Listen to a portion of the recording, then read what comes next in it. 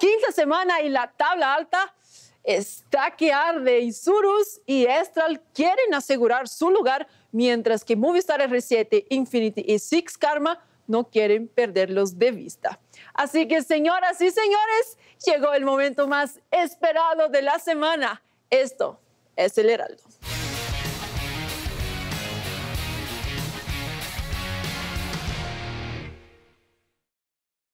Comenzamos justamente con un duelo por la cima.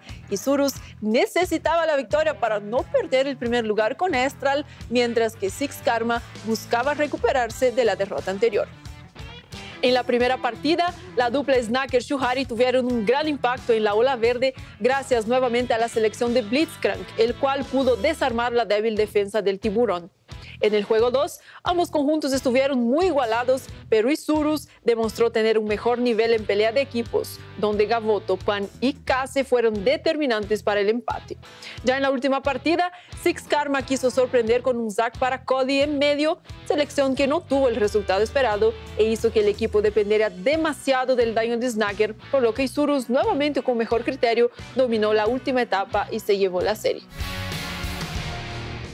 Pasemos ahora a un clásico de la LLA.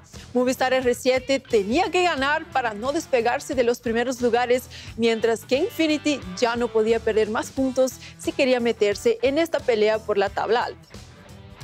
En el primer juego, Infinity comenzó con pie derecho siendo una planadora en la etapa temprana gracias a un estupendo Ackerman con Rakan. En el juego 2, Odyssey pondría la camiseta y con una Elise fuera de serie dominaría tanto las emboscadas como en el control de objetivos para conseguir un contundente empate.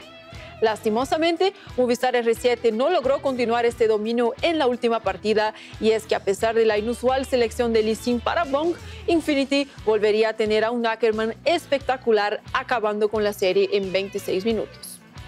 En otros resultados, Estral vapuleó a un teammate que sigue sin dar señales de vida, mientras que O-Knights continúa cosechando triunfos, esta vez contra la escuadra de The Kings. Con eso, veamos cómo está la tabla de posiciones. Estral vuelve a comandar en solitario con 12 puntos, seguido de Isurus con 11. Infinity, Movistar R7 y Six Karma igualan con 8. O-Knight suma 5 puntos y The Kings tiene 3. Finalmente, en el fondo de la tabla sigue estando Team Ace, que todavía no triunfó. Si hay algo que destacar esta semana, sin lugar a dudas, es el desempeño que está teniendo Isurus, a pesar de haber arrancado la LLA con una dura derrota frente a Estral y con la salida prematura de Grell.